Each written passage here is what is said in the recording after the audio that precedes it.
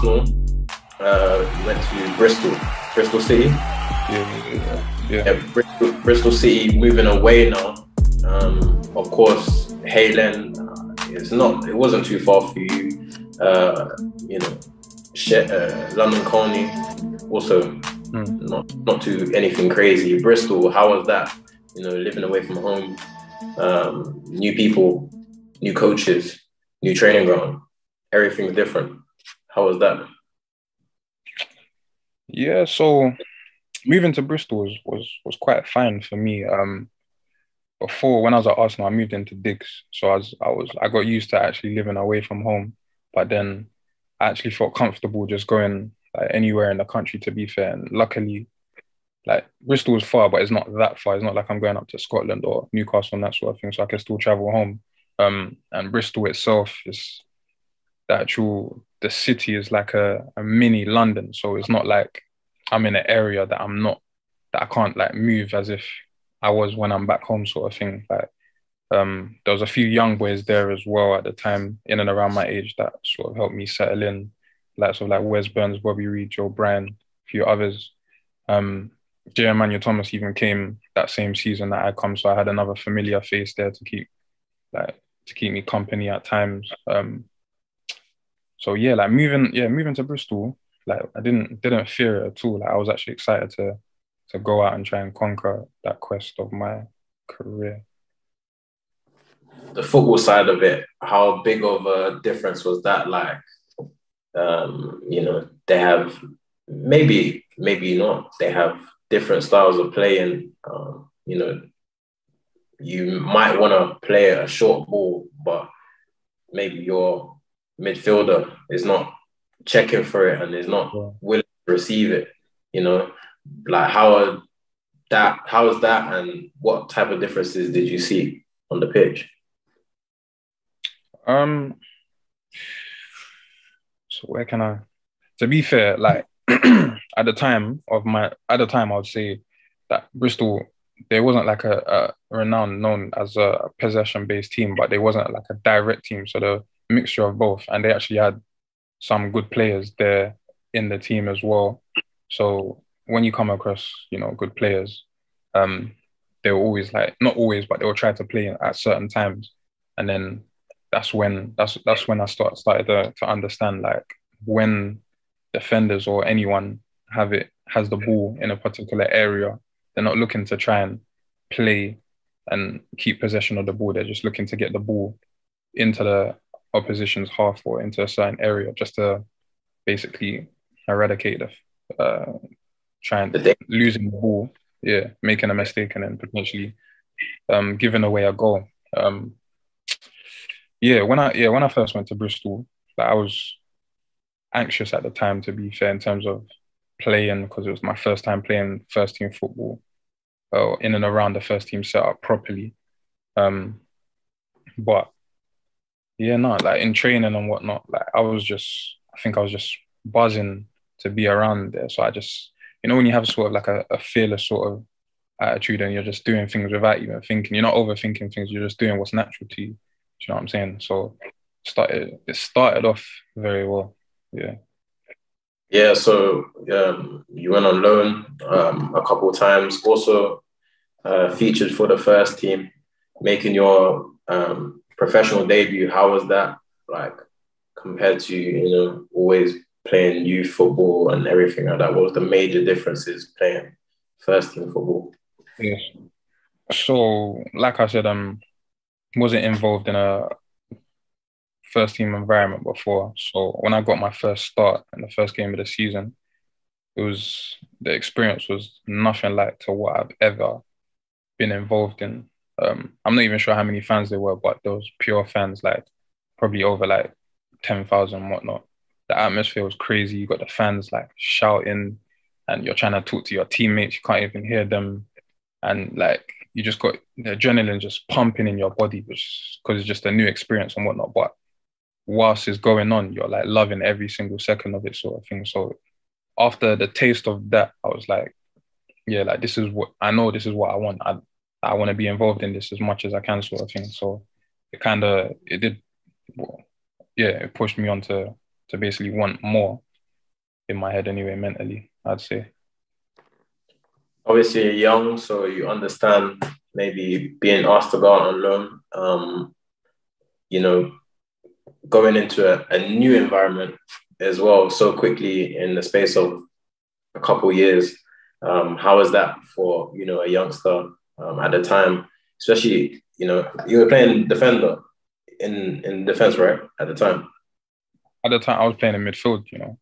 Okay, in midfield. Okay, so midfield mm. maybe a bit more easier as a as a youngster, but um, still, you know, a lot goes on in midfield where you need to get on the ball a lot and um, you know make things happen, putting tackles and whatnot. So um, you know, mm. going on loan, um, how how was that experience? It was daunting to to begin with because again, coming from from Arsenal, you sort of, me personally don't want to speak on anyone else, but I was a bit naive and unaware of many leagues underneath the Premiership and probably underneath the Championship as well. I'll be honest. So I was at Bristol City. They were in League One at the time. Then I'm being asked to go out on loan to a team in League Two, to respectfully a team that I didn't know about at the time. Um, but yeah, ended up going there, uh, and I ended up scoring on my first game actually. I think I had one training session on the Thursday or the Friday, then got put into the starting lineup against Tranmere. And yeah, like going into that situation in my head, I just thought, listen, I, I personally feel like I'm better than this level. I just need to showcase it. And um, manager showed faith in me. Some of the players like probably saw what I was doing in training and liked what they saw, so felt a bit, felt a bit more confident in me and comfortable um, with me being on the pitch and you know trying to show me things and help me out on the pitch where I can as much more than like a player that they probably don't like in terms of like politics and, and football. But um, yeah, the loan experience was very good for me in the end. Like I'm I'm thankful that I even got that opportunity. Played every game um, for that month that I was there as well. So it was it was a very good experience for me. Yeah, um, we'll skip past a few other loans, but um, obviously Dartford is predominantly where you found your home. Um, yeah. What's different there compared to the other clubs that you you played at? What what's the biggest difference? Why you think you've been there the longest compared to other clubs? Um, one thing I'll say is like the team the team has done fairly decent or well, so there hasn't had to be a big um uh j- like jumble up. Pardon? Overall of of uh, yeah. Of, yeah, yeah, yeah. So like managers haven't had to get like sacked and all of that sort of stuff, whereas that's happened at previous clubs. Then, um, yeah, all of the managers, I say all of the managers that's been there has obviously sort of understood my game, I would say, and has always like put me in positions that's tailored to myself. But I've actually experienced like all all of the three positions that I spoke about at the start of this when I was saying like centre back, midfield, right back. I've done that like at this club. Um, so they know I'm quite versatile. I think they just understand me as a player and a person then the board as well. Like I've been there for a while, so I'm like quite comfortable with like the staff members uh, that are quite higher up. Um, and yeah, like I just it's, it's just quite comfortable, especially for this level. It's like one of the the best sort of teams that are like pretty well run in terms of you know facilities, stadium, even being like being paid on time and all of that sort of stuff. Like so many different things. Like it just run well. The training like what's what's um accessible via training as well. So since since they gave me a lot of game time, I've always just I've always just wanted to to go to a place where I feel like I'm I'm comfortable because I know that I'll probably play my best football whilst I'm comfortable, and instead of like always looking for another team or whatnot, and then potentially getting in an, another situation with like a manager or being in around new players um, yeah, I just I just feel like I, I perform better when I'm when I'm more comfortable, and the club itself has made me feel comfortable. So that's why I opted to stay uh, this many seasons because I could have gone a couple times, but didn't want to, to be honest.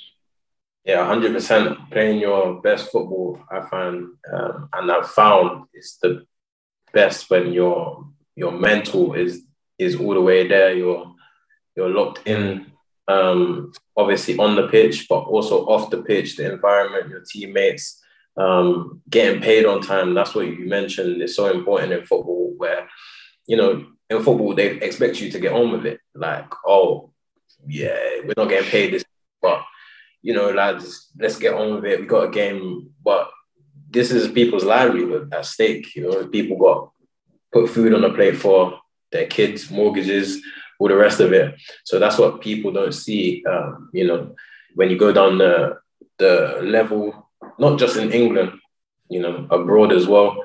Um, but mm. football has this stigma of not even a stigma. It's, it's just real. Um, football has this thing um, that they put on you, you know, that everything is going to be all right. Just, just play football. Everything, everything will be forgotten. You know? So, yeah, that's something I've never understood. But um, yeah, we we move, we move. For more content like this, like, share, and subscribe.